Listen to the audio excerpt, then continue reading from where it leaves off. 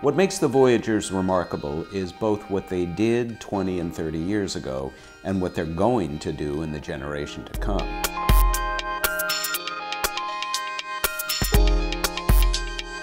Both ships were built for the possibility of conducting a four-planet grand tour of the outer solar system, Jupiter, Saturn, Uranus, and Neptune.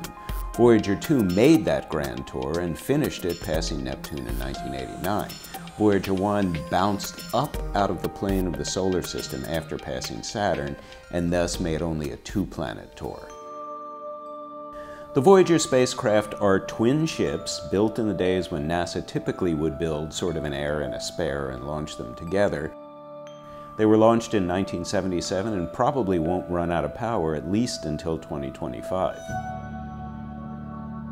The Voyagers were originally interplanetary probes, but after 1989, when Voyager 2 passed Neptune, the mission was rechristened the Voyager Interstellar Probes. And what the, the spacecraft are trying to do now, and are very close to doing, is break beyond what's called the heliopause.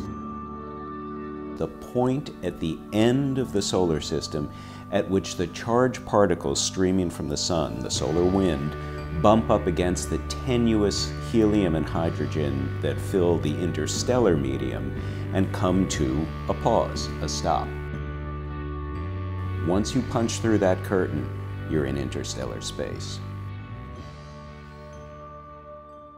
The heliopause is thought to exist about 12 billion miles from the Sun, which is more than twice the maximum distance of Pluto.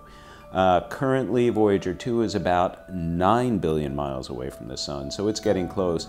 And Voyager 1 is 11 billion miles away, so it could pass at any point.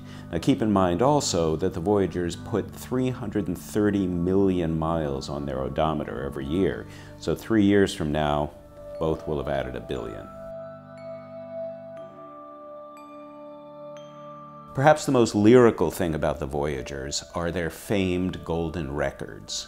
Affixed to the side of both ships are 12-inch gold anodized discs, about the same size as an old phonograph album, and they work the same way too. Encoded in their analog grooves are music from Earth, pictures from Earth, greetings from world leaders. I send greetings on behalf of the people of our planet. Even greetings from the children of Earth. Hello from the children of planet Earth. The thinking being that if any extraterrestrial species ever finds the spacecraft and plays the discs, they can learn something about the species that was capable of sending them.